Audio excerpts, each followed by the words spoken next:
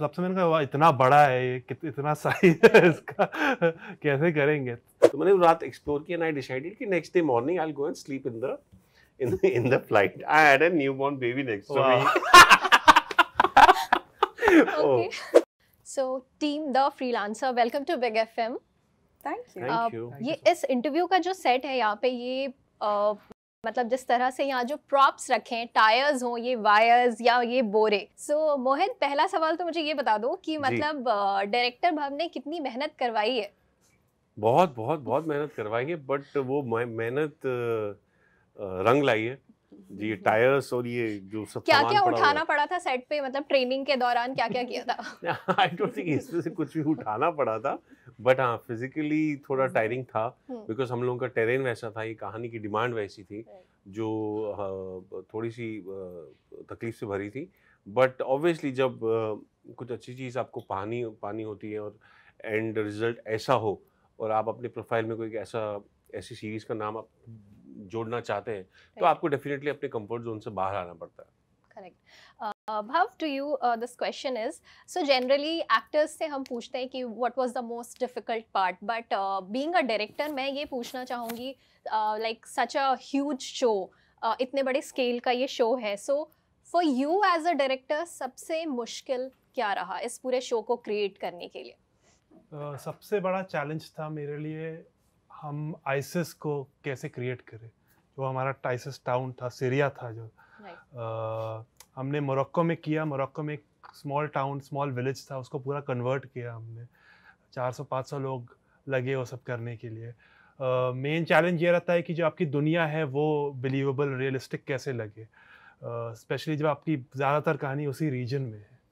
uh, दूसरा challenge ये था कि हमारे technicians all over the world. You know, there were people from all over the world working on this project. There was uh, uh, an Italian stunt coordinator, a French action director, actors from America, Middle East, and with the Indian core.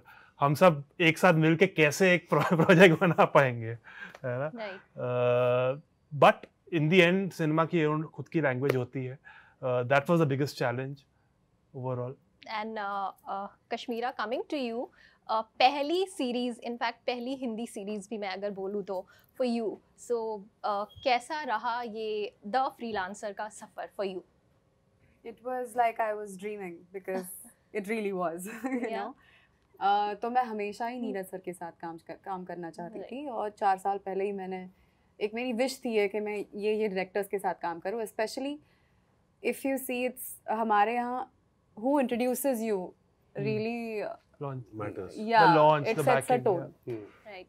तो मैं तो मैं चाहती थी कि Neeraj sir मुझे introduce करें क्योंकि तब हम घर पे बैठ के जब मैं कॉलेज में थी तब हमने बेबी देखी थी। एंड माय डैड मी हम सबको तापसी का रोल और बाद में नाम शबाना जब सर ने बनाई ये दो फ़िल्में हमें बहुत अच्छी लगती थी।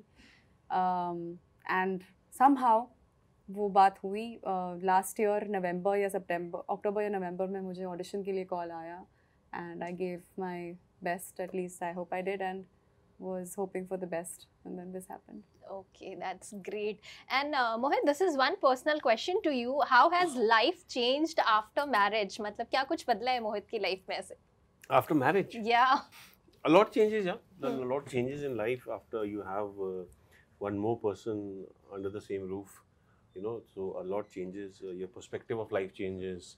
Your your your um, it's uh, it's not about I or me anymore then it's about us and we आपका पूरा पर्सपेक्टिव चेंज हो जाता है लाइफ को देखने का नज़रिया चेंज हो जाता है so I think yeah that's that's about it okay that's great for all three of you ये सवाल है मेरा कि uh, नीरज से जब आप obviously like you as a director अगर मैं बात करूँ and you guys as an actor so Neeraj से जब डिस्कशन uh, हुआ होगा I am sure before the shoot and all so what was that one thing जो उनकी याद है आप लोगों को?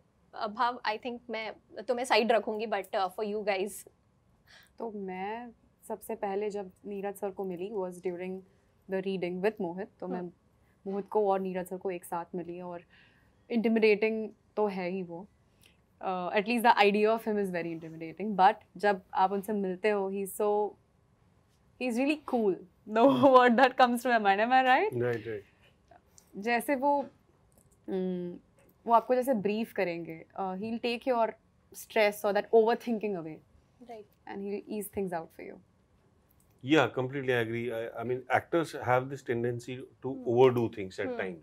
Uh, हम लोग बिकॉज़ हम लोग सोचते हैं कि ये हमें किरदार साठ दिन निभाने का मौका मिला है। So let's try and give our best to it so उसमें ना कभी कभी एक ओवर थिंकिंग का प्रोसेस भी जुड़ जाता है।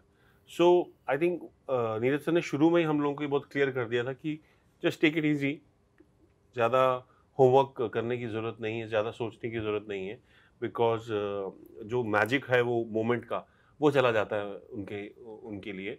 So he wanted us to be prepared but not over prepared he wanted us to realize and Hmm. understand the world which he's planning to create but he didn't want us to over uh, uh, prepare a lot and obviously जब ऐसी clarity आपके पास हो director की और uh, भाव completely जानते थे कि वो कैसे नीरज सर के विजन को आगे बढ़ाने वाले हैं क्या उनको Right. चाहिए सो so, हमारे लिए वो चीज़ें बहुत आसान हो चुकी थी बिकॉज़ बब हमें कहते थे कि पॉइंट ए से पॉइंट बी में जाना है और पॉइंट बी से पॉइंट सी में जाना है।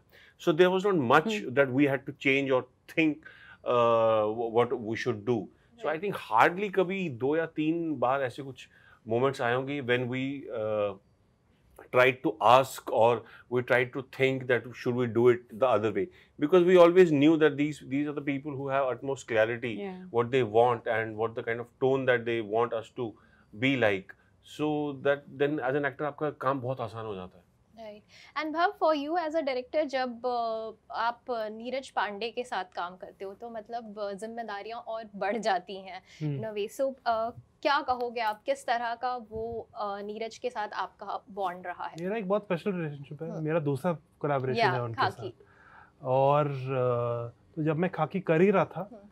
जब शूटिंग खत्म की थी तो उसके बाद मुझे फ्रीलांसर ऑफ़र कर दिया था तो जब मैंने पहली बार पढ़ा हाँ।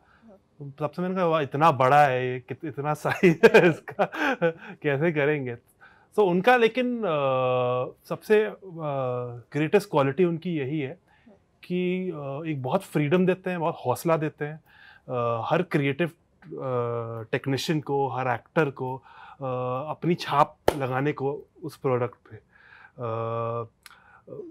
He has always had my back you know through the process with sequences आपको यूजली इतने अर्ली ऑन इस करियर में नहीं मिलते हैं करने को। हाँ। बट पूरा मोरक्को संभालने को दिया उन्होंने मुझे बहुत बड़ा. It was a great honour for me and we uh, to take it to the next level and web series में स्पेसिफिक स्पेसिफिकली मैं यही कहूँगा कि बिकॉज़ हम लोग इतना शूट करते हैं सात आठ एपिसोड करते हैं इतना इट्स फ़िल्म से ज़्यादा तीन चार three film we make in this thing it's a truly collaborative effort from इतने लोग आते हैं हमारी जर्नी में है ना so so that is why you need a leader who can really जैसे बोलते हैं director is the captain of the ship Neeraj sir is like the admiral of the fleet you know who is you know running so many uh, technicians at the same time Okay, and here's a very quick game, okay, which is called Ye or Nay. Uh, in Yes. short, if I say yes or nay, no, ठीक है तो मुझे uh, तीनों लोगों से जवाब चाहिए। पहला सवाल है waking up at sunrise let's start with you Bhav.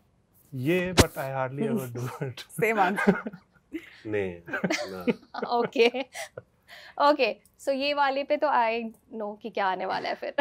Partying all night no no again I want to do it but I can't tell you okay friends with benefits Nah. No, Big no. no Caps. Okay. Bumping into your ex.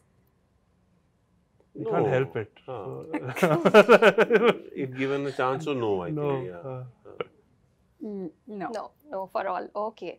And uh, this is the last one. Kids on a flight. I think more than an experience will come back. have I told you but this experience no so हम लोगों का Morocco का schedule खत्म हुआ and you know I Yeah. I we were all dead tired and everything and I decided कि बस uh, I think that's the last night uh, in Morocco और पूरे टाइम हमने पार्टी नहीं किया था या हमने घूमा नहीं था तो वो रात को मैंने डिसाइड किया कि मेरी आखिरी रात है मोरक्को में let me go and explore it तो मैंने वो रात एक्सप्लोर किया एंड आई डिसाइडेड कि next day morning I go and sleep in the in the, in the flight. I had a newborn baby next to Wow. me. Okay. So I think that was That uh, didn't happen. the- yeah, I was like that was a very different experience. Thank you so much, guys. 92.7